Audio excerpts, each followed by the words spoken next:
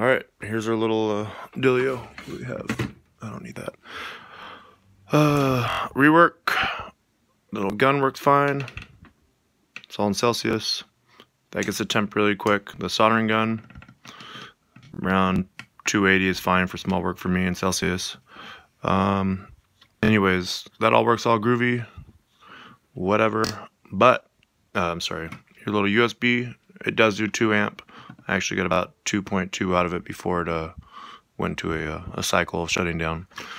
Um, these little banana plug things are super cheap, but whatever. The adapter it comes with is super cheap, but whatever. It's all good.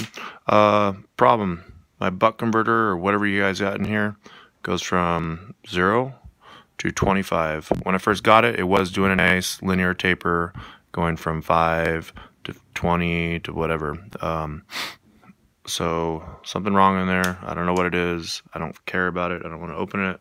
Just send the stupid thing back. Um, probably would have worked fine and forever. Uh, I probably would have kept it. But um, if that's a sign of things to come, then I'm not really interested. These little things pop off super easy. Just throw some super glue on them.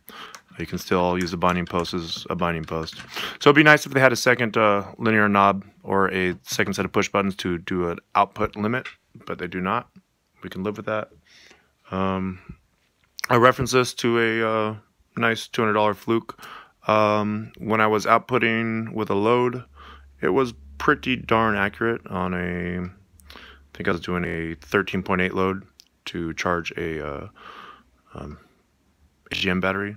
Uh, when I was 13.8 on my fluke, this was at 13.6 and then it went to 7. But who cares? That's good enough for what you're paying for. Um, anything more uh, sensitive, you should know better than be using one of these as a uh, reference.